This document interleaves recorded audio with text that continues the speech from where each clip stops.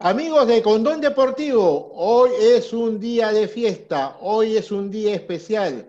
Hinchas del Sporting Cristal, quédense sentaditos y mientras que esperan, suscríbanse, denle like, compartan y al final de esta entrevista imperdible quiero leer todos sus comentarios porque hoy estamos con un histórico del Sporting Cristal. Estamos con Luis Alberto Bonet. Luis Alberto, desde Buenos Aires, Argentina. Gracias por estar con Condón Deportivo. Gracias por la invitación, Tocayo. ¿Cómo estás? Un saludo muy grande. Un saludo para ti, muy especial, Luis Alberto. Hemos estado un poco conversando en la previa. Agradezco esta oportunidad. Sporting Cristal, ¿qué significa en tu vida? Sporting Cristal es, significa muchísimo. Es, quizás la mejor etapa de mi vida. Hoy a la distancia, ya con, con 49 años, casi a punto de cumplir 50, tengo que decir que es la etapa más linda, es indudable. Uno es donde se encuentra activo, joven, eh, con todos los sueños por cumplir. Y, bueno, el club significó eso, ¿no? Poder llegar a concretar todos esos sueños que uno, que todo chico, todos, todos chicos tenemos desde, desde los comienzos de nuestra vida, cuando nos empezamos a enamorar de fútbol, de jugar, de jugar a la pelota. Qué más lindo que eso, ¿no? Y poder llegar a concretar eso de manera profesional y vivirlo para mí eh, en algo tan importante, un club tan importante como, como ese Sporting Cristal, para mí fue un sueño hecho realidad. Quiero rescatar esta última frase, un club tan importante. Importante y para mí además grande, y te lo pongo este, este preámbulo para conversar de un tema de coyuntura antes de volver a lo nuestro, Luis, pero no puedo dejar de preguntarte. He, leído en tu red eh, una respuesta bastante firme respecto a unas, creo, desafortunadas declaraciones de Ángel Comiso, un poco ningunea la historia y la grandeza del Sporting Cristal. Eh, ¿Qué sentiste en ese momento al enterarte de las palabras de Comiso? Mira, lo que uno podría llegar a pensar en un primer momento es, que te da bronca, pero en realidad eh, no, tiene por qué, porque es simplemente alguien que no sabe. Eh, si te, te, pones a, revisar un poco la historia, que siempre el fútbol es muy lindo, eh, Sporting Cristal desde, su creación, desde su nacimiento, eh, es el club que, más títulos consiguió. Eh, el, club, por lo menos en, mi etapa donde yo llegué al club, era el club donde todos los jugadores del fútbol peruano querían, querían ir, donde el club que más aportaba para la selección nacional, el club donde mejor estabas, donde mejores condiciones de trabajo tenías, la mejor infraestructura para poder entrenar, el club que siempre estaba peleando el campeonato, siempre, o no siempre, pero casi siempre consiguiendo un campeonato. O sea que es un club que demasiado importante y demasiado bueno como para tratar de, ningunear. O sea que eh, ya con, la respuesta se, cae solo lo que, lo que uno puede llegar a pensar, ¿no? Estando seguro de lo que es la realidad eh, no se puede tapar el sol con un dedo.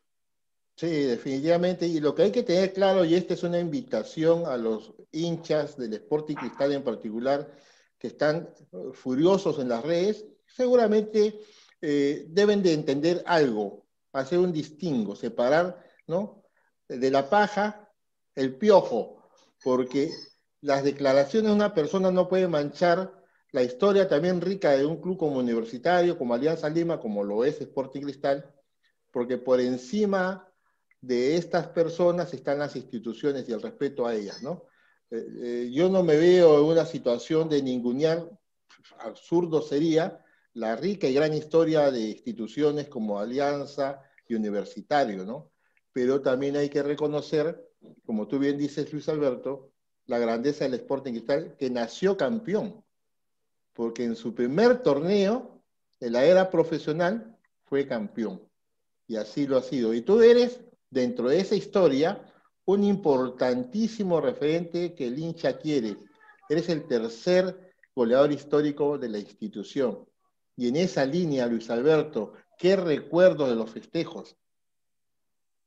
Eh, muchísimos, todos. La verdad que te diría que hasta, hasta viendo o repasando cada, cada gol que pude llegar a convertir con Cristal, te podrías eh, relatar exactamente lo que sentí en ese momento, qué, qué, pequeño inconveniente pude haber llegado a tener, qué, qué, lo que sentí en la definición. La verdad que tengo recuerdos este, muy, muy grabados dentro mío y quedarán, espero que para siempre en, mi vida. Y, y por supuesto, con, con todo lo lindo que dijiste de, de, mí, del club, yo siempre eh, eternamente agradecido para la, para la gente de los hinchas de cristal que prácticamente me adoptaron como un, como un hijo, porque gracias a ellos y al reconocimiento que me dan, soy eh, eh, digamos, reconocido en, el ámbito futbolístico de, Perú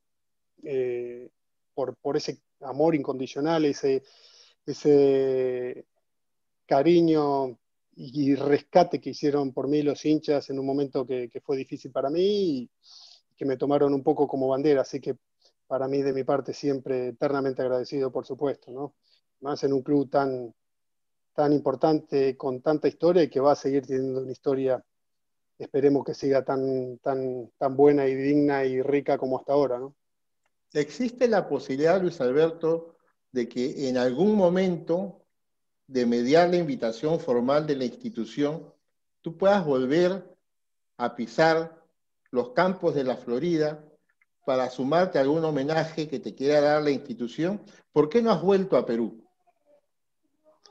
No volví a Perú porque, mira, cuando uno deja el fútbol, había un, no me acuerdo, un, dicho muy, muy, muy conocido dentro del ambiente futbolístico, que es que el, futbolista muere dos veces, ¿no? Cuando deja el fútbol y, la muerte natural de la vida. Y, la verdad que es, bastante así. Entonces, uno cuando deja el fútbol tiene que encarar su vida, todo lo que le queda al resto de su vida, empezar a vivir de otra manera. Eh, acomodarse a algo que no está acostumbrado, que es dejar de, de jugar al fútbol, que es lo que hizo en toda su etapa profesional, en mi caso, 18 años, que fueron eh, muchísimo, muchísimo tiempo, y, la vida va pasando. Uno trata de, vivir su vida, acomodarse en, lo que se tiene que acomodar, ya sean en, en donde tenga que radicar. Yo me volví para, Buenos Aires, que es donde, donde yo nací y, y está mi familia. Y, increíblemente lo que pasó el, año pasado con todo el parate y la cuarentena eh, y el encierro que nos tocó vivir en todas, las, en todas partes del mundo, bueno, fue un, poco como darme cuenta de que habían pasado 10 años ya de que me había vuelto, 10, 11 años, no me acuerdo cuánto, de, Perú. Y no me llegó, no me llegó a, regresar en, algún momento, yo me desligué del fútbol y no estuve más involucrado en todo lo que es el tema futbolístico. Entonces, un poco eh, mi vida fue transcurriendo por otros lados, tratando de, hacer otras cosas, pero bueno, eh, como te decía, en el momento que, me puse a reflexionar que había pasado 10 años ya de, no regresar a Perú, la verdad que no lo podía creer. Y, y uno se pone a reflexionar qué rápido pasó todo, qué rápido pasa el tiempo. Y es así, pasa muy, muy rápido, sobre todo cuando te vas viniendo más grande.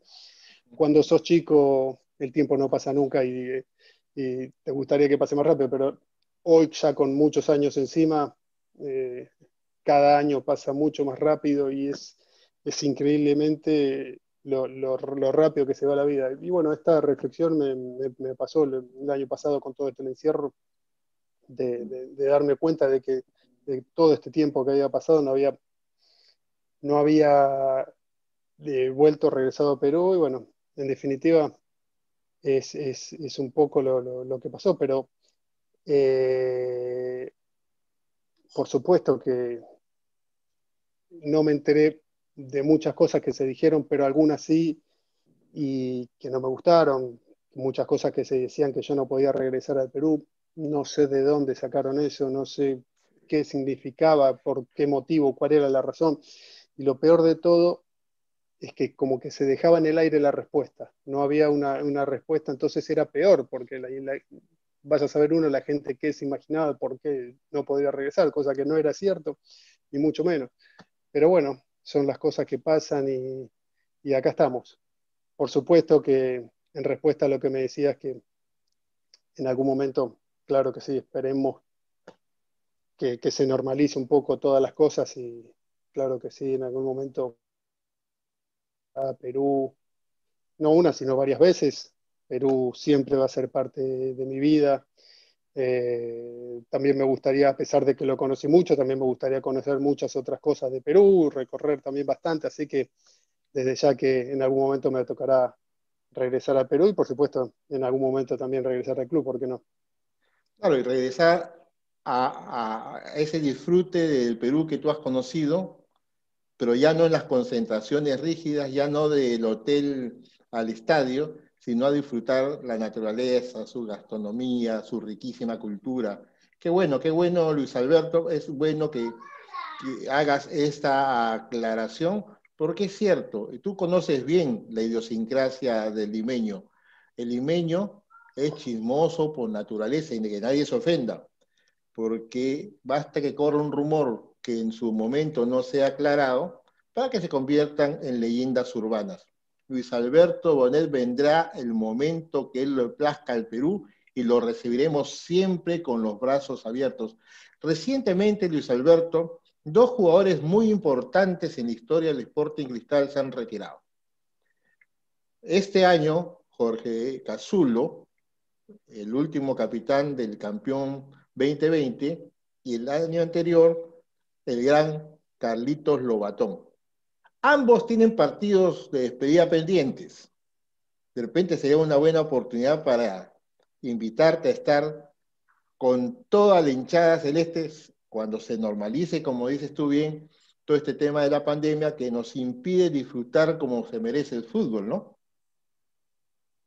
Totalmente. Eh, sí, por supuesto, dos grandes jugadores con Carlitos Lobatón, que tuve la oportunidad de compartir también mucho. Justamente ayer estaba viendo un, el gol que hizo de córner olímpico, que lo hizo Cienciano. La verdad que es un gol increíble. Ese, ayer me reía solo porque digo, creo, me parece que una vez sola había visto un gol así que lo había hecho Roberto Carlos eh, en Corintias, ese gran lateral de la selección de Brasil en, en, me parece que una sola vez lo vi y había sido un tiro bajo, pero el de, el de Loba fue impresionante, cómo le pegó la pelota de alta y, y, y se dio cuenta que el arquero estaba distraído, estaba un poco salido y la metió ahí. Fue, la verdad, muy pocas veces he visto un gol así en, la historia del fútbol.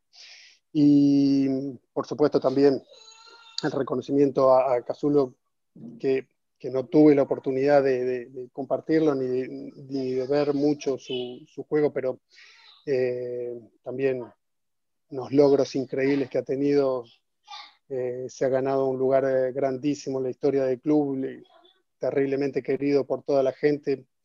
Y, bueno, por supuesto, merecidísimo también el, reconocimiento y el homenaje para él, y tanto como para él, para los dos. Bueno, quién sabe, eh, yo te confieso algo, yo desde que dejé de jugar no, toqué nunca más una pelota, nunca más eh, participé de ningún partido, así que para mí es algo totalmente extraño y por hoy jugar al fútbol, pero, pero por supuesto sí que que sería lindo poder estar ahí en, algún homenaje que le hagan a ellos. Eh, pero esto es como montar bicicleta, nunca se olvida, ¿no? Eh, sí, la verdad que sí. Pero bueno, los años pasan para todos, así que, pero bueno, tampoco es una final del mundo, así que, como no poder estar. Todos estaba además eh, en su momento con un señor de señores que se llama Roberto Mosquera, en, en ese tiempo asistente, hoy técnico, dos veces campeón con el Sporting Cristal. ¿Qué recuerdos de Roberto? Sí, por supuesto. Eh, además, con todo el mérito que significa, la verdad, salir campeón. eh, dos veces con Sporting Cristal, siendo entrenador, eh, sobre todo teniendo en cuenta que, los entrenadores, hay, un poco la idea de que los entrenadores eh, están mucho tiempo y se identifican mucho con los clubes, pero si te pones a mirar a lo largo de, las estadísticas, en realidad el tiempo que pasan en un club los, entrenadores es muy poco, así que todo el mérito correspondiente para Roberto y los mejores, los mejores recuerdos, sin duda, para con él, gran persona, uno de los, eh, de los entrenadores que me hizo eh, mejor la bienvenida a mí para, el club, para Cristal, para, adaptarme a lo que es eh, Sporting Cristal, para saber y conocer lo que es la idiosincrasia y, la manera de ser de lo que era eh, llegar a un club que para mí era, era algo nuevo, no, había salido nunca de Argentina y poder eh, conocer eh, todo lo que significaba el club y el fútbol de, Perú era muy importante. Y la verdad que a mí me ayudó mucho también cuando, cuando fue toda mi adaptación, mi, llegada a Perú, que siempre son son difíciles esos momentos para adaptarse, todo nuevo. Eh, mm, alguien que, viene de afuera se tiene que adaptar a muchísimas cosas, además de lo que es el fútbol, tiene que, volver, tiene que adaptarse a una vida de una ciudad diferente, que, adaptarte a un montón de cosas. Así que para mí fue una ayuda muy importante y, por supuesto el, cariño y el, el, afecto para con él desde siempre, ¿no? de goleador a goleador, ¿qué le dirías tú a Emanuel Herrera? Mira, yo no, le diría nada porque él tiene los méritos suficientes para haber hecho las cosas tan bien como las hizo, que no tengo nada para decirle. Lo único que siga haciendo lo que él sabe y que, es, que son eh, todo lo bueno que él hace, los goles que hacen, conseguir campeonatos como él bien sabe, lo más hermoso que te puede pasar quedas para siempre en la historia del club, eso no te lo quita nadie, quedas grabado. Como digo yo, la foto del equipo campeón queda en el cuadro colgado en la pared y eso no lo, no lo quita nadie, así que es lo mejor que puede conseguir en un club. Por supuesto, eh, cuando vos estás en un club como Sporting Cristal, tenés que estar eh, de por vida tenés que hacer el máximo esfuerzo, entregarte las 24 horas, incluso los momentos de descanso que, te tocan, tenés que estar pensando para dar lo mejor para, para, el beneficio del club. Así que eh, lo único que sí es que podría decir algo es eso, ¿no? Estar el máximo tiempo que puedas porque todo pasa rápido y después cuando, cuando esto del fútbol termina, que muchas veces parece que nunca va a terminar y realmente termina, eh, todo lo que viviste y todo lo que cosechaste eh, es en base a tu esfuerzo. Así que que siga así también como hasta ahora y bueno, que, vengan muchos campeonatos más. Tú dices cuando uno se retira del fútbol, eh, no necesariamente muere una vez, muere dos, ¿no? Pero ¿por qué tomaste una decisión tan distinta al fútbol? ¿Por qué tu norte giró tanto 360 grados? ¿Por qué no seguiste ligado al fútbol? Porque mm, lo primero que hace un futbolista cuando se retira es pensar seguir ligado al fútbol. El fútbol es una, actividad eh, bastante estresante y que todo el tiempo tenés que luchar para estar adentro. No es que uno dice, ah, voy a tener una carrera de 15 años profesional y, sí, van vas a transcurrir los 15 años. No, cada año vos tenés que ganarte tu derecho para seguir estando dentro del fútbol. Que te reúnen un contrato para que, para que sigas para que siga el interés por, tu, trabajo dentro del fútbol. Eh, una carrera exitosa se puede prolongar entre 15 y 18 años cuando, como me tocó a mí, pero hay muchísimos futbolistas y profesionales que quedan en el camino uno, dos, cinco, seis años y, quedan en el camino. Lo que pasa es que nadie se acuerda. Y lo que hacemos los que nos retiramos del fútbol, lo primero que pensamos es, bueno, seguramente seguiré ligado al fútbol de la manera como entrenador. Eh, pero bueno, intenté hacer el curso de entrenador en, Lima, no sé cómo estará ahora la situación, tuvimos una charla, creo que lo estaban dando en La Videna, no me acuerdo si fue Chalaca, Chalaca González o quién nos dio una charla y, nos dijeron que, el curso iba, que el curso iba a empezar, pero ellos garantizaban el dictado del curso de entrenador por seis meses porque notaban que muchas veces muchos eh, alumnos se retiraban después de los seis meses y no, seguían, no continuaban, entonces no podían asegurar eh, la continuidad los otros seis meses del año. Entonces, eh,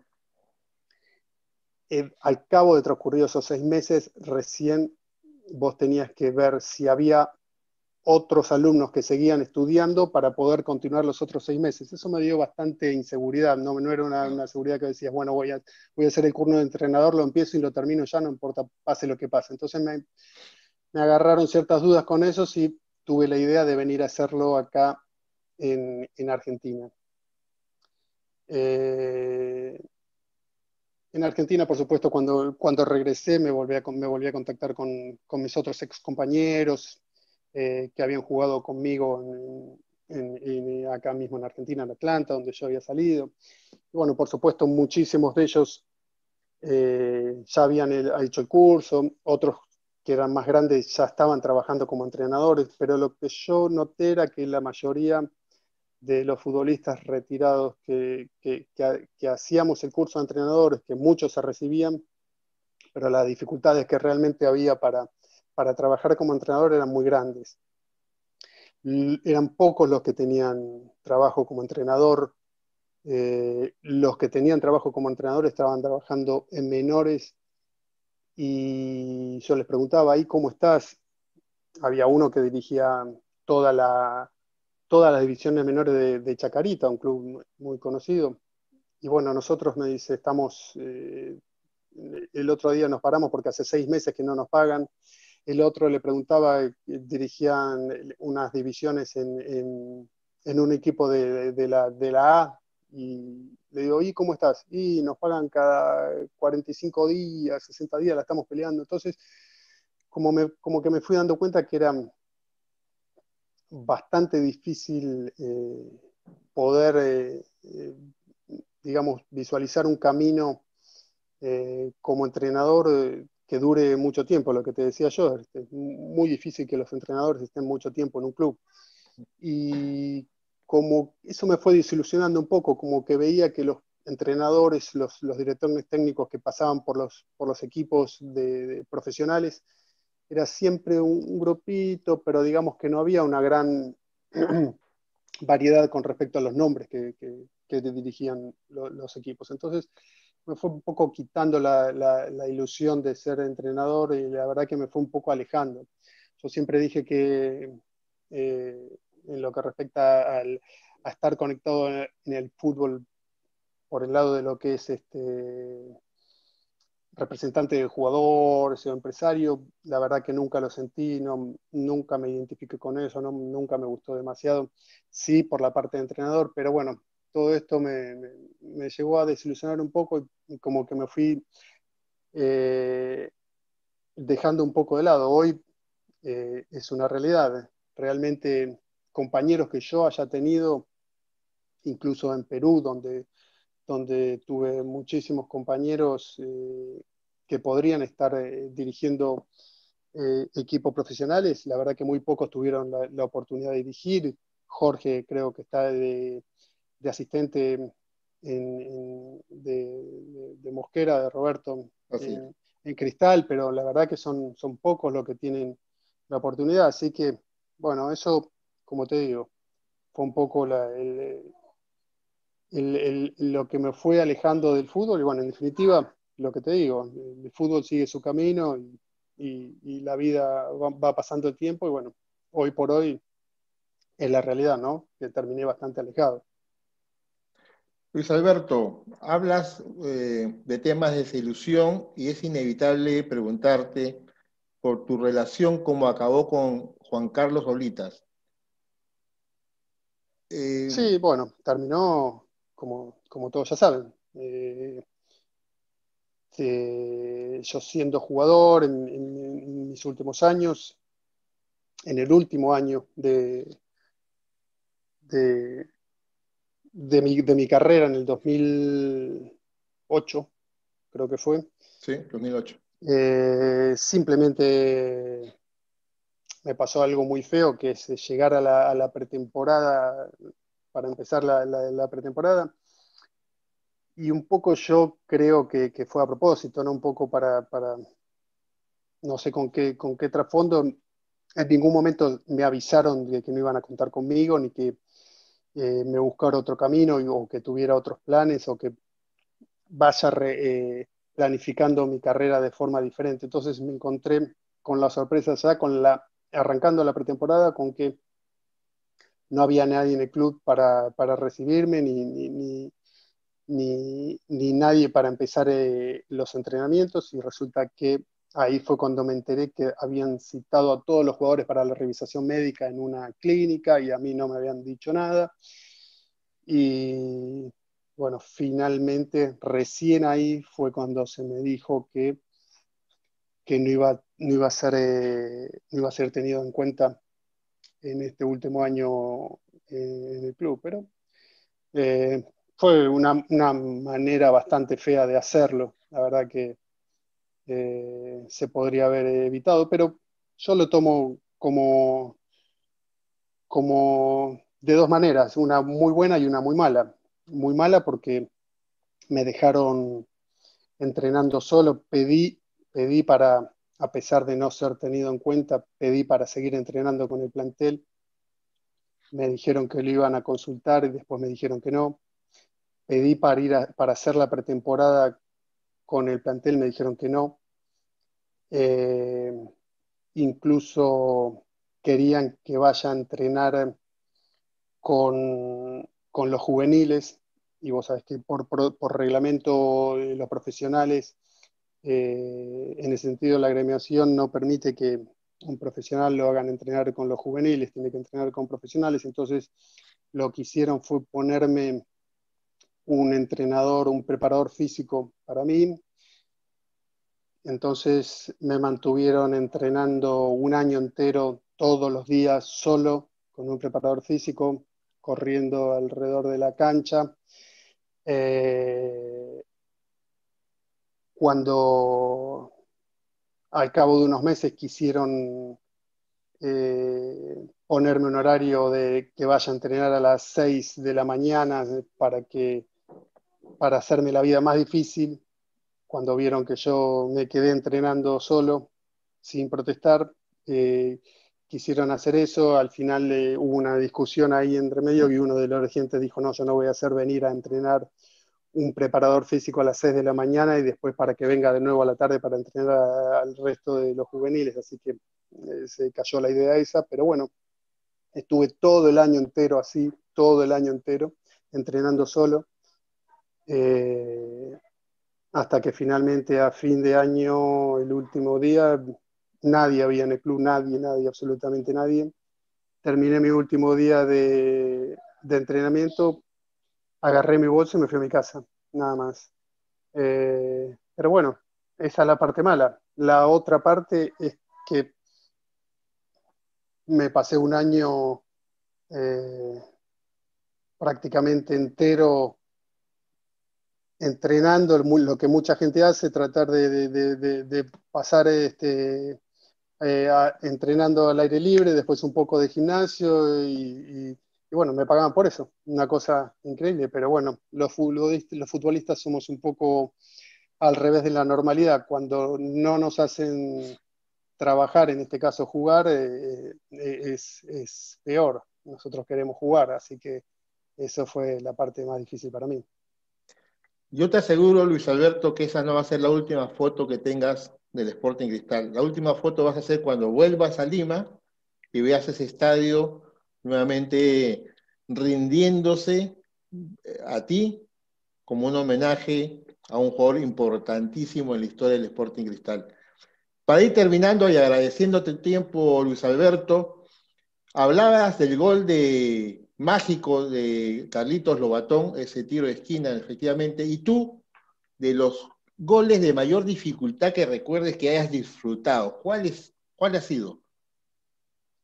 Yo creo que el gol, un gol que le hice a la U en el Estadio Nacional, un pelotazo de, mitad de cancha y yo estaba muy solo, sin, compañeros alrededor, con dos defensores de la U. Un pelotazo bastante largo que era bastante difícil de, de, poderla dominar porque contra dos defensores yo en el momento dije, bueno, esto va a ser una pelota quizá perdida porque no, no, voy a poder ganarle a los dos, porque la pelota también venía cayendo más o menos al, al, borde del área por la media luna, por ahí. Y bueno, tuve la suerte de, de pararla con el pecho y en el momento que la paro con el pecho, los dos defensores de la U me chocan uno de cada lado y quedan, rebotan y quedan un poco abiertos. la pelota me quedó picando ahí, le puse un zurdazo que pegó en el travesaño y entró y fue espectacular, la cancha estaba llena y la gente enloquecida, ganamos con ese gol, así que fue la verdad un gol que le tengo mucho cariño y mucho recuerdo. ¿Y qué recuerdo de la Copa Libertadores, Luis Alberto, para terminar? La Copa Libertadores, muchísimos recuerdos, por supuesto, todos los mejores recuerdos de lo que fue esa campaña tan, tan hermosa que nos tocó vivir, haber llegado tan alto, haber convivido con con la elite de los, de los equipos de Sudamérica. Eh, algo tan hermoso como eso. Eh, fue realmente fantástico. Y la, sensación de, que teníamos de ir avanzando partido a partido, etapa por etapa, uno parece que va entrando como en un sueño.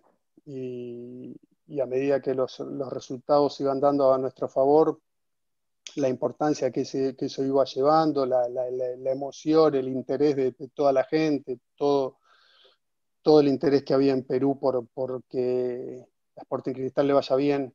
Eh, yo recuerdo siempre los, partidos esos en, el Estadio Nacional, que eran eh, a mitad de semana a la noche, pero ya en el día previo ya había una, una tensión especial de lo que era la, gente y la, expectativa que iba a pasar en, los partidos de, de, Sporting Cristal en esa Copa. Así que eh, llegar al estadio con, la cantidad de gente, cruzarse con la cantidad de gente yendo temprano al estadio y colmándolos de temprano, la verdad que fueron momentos muy, muy lindos. La verdad que un gran recuerdo. Por ahí tengo la medalla de subcampeón que para mí sigue siendo un terrible honor, por supuesto, el, máximo de, mi carrera, con el, con el sinsabor de no haber podido conseguir la copa, que era algo que estaba ahí al alcance, que parecía que la podíamos tocar, fue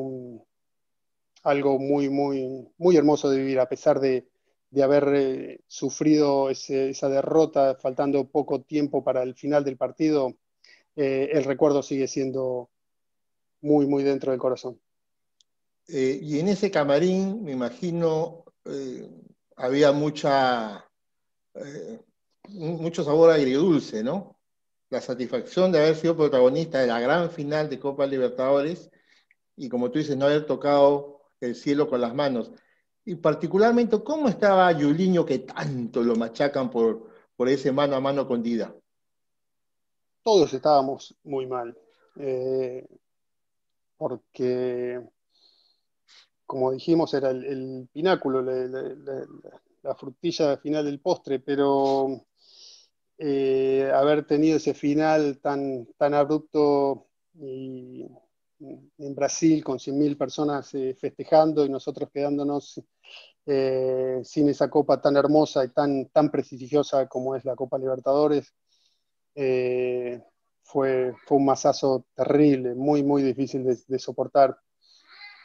Eh, Juliño, por supuesto, estaba eh, dolido, pero como estábamos todos, la verdad que todos eh, éramos el mismo sentimiento, eh, no volaba una mosca, nadie, nadie decía una palabra, estábamos todos muy, muy dolidos.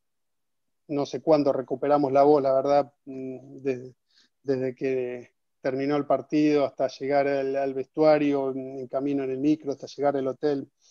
Era un sentimiento muy duro. Eh, pero hoy visto a los años y en el recuerdo, termina siendo un, recuerdo grato, ¿no? Porque haber llegado en, ese escenario máximo, estar, eh, ser protagonista de, la copa más prestigiosa de Sudamérica, eh, no es para cualquiera y la verdad que para nosotros sigue siendo hoy un orgullo que no se va a borrar tan fácil.